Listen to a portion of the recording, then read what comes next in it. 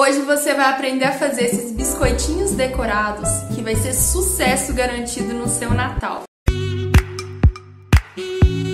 Olá, meu nome é Rebeca Goulart, se sinta à vontade, seja bem-vindo ao meu canal. A primeira coisa que a gente vai fazer é despejar em um bowl a nossa manteiga com açúcar. Misturar bastante até que vire uma massinha homogênea. Vamos misturar o ovo e acrescentar o extrato de baunilha. Vamos colocando também os secos aos poucos. Farinha de trigo, sal, amido de milho. Lembrando que essa massa não vai fermentar, que a gente não quer que ela cresça muito e fique bastante airada. Aqui embaixo tem a descrição de cada ingrediente com a quantidade certinha. Mão na massa, misturou bastante, a massa já está homogênea, já ganhou forma. Bora abrir a nossa massa. Vamos fazer uma espécie de camada de papel manteiga, massa e papel manteiga. Isso é para que não fique bem grudento e colando em tudo. Abrindo a nossa massa, já vamos levar imediatamente para o freezer cerca de 10 minutos. Automaticamente você já vai ligar o seu forno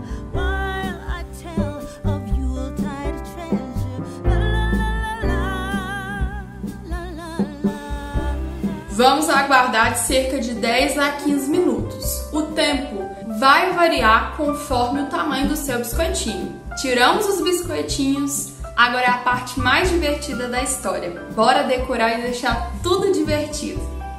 E é claro, se você não quiser fazer essa parte, os biscoitinhos ficam uma delícia do mesmo jeito. Aconselho que você se programe antes para essa etapa.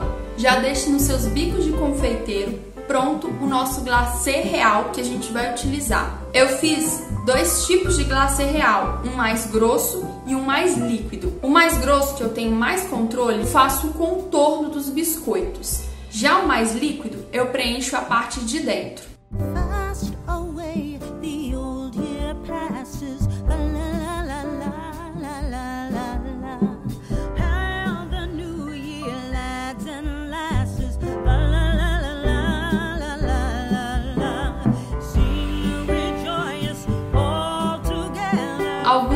Confeites para dar aquele toque final.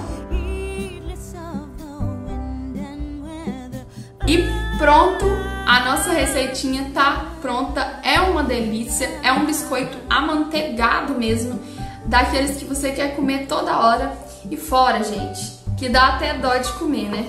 De tão lindinhos que eles são.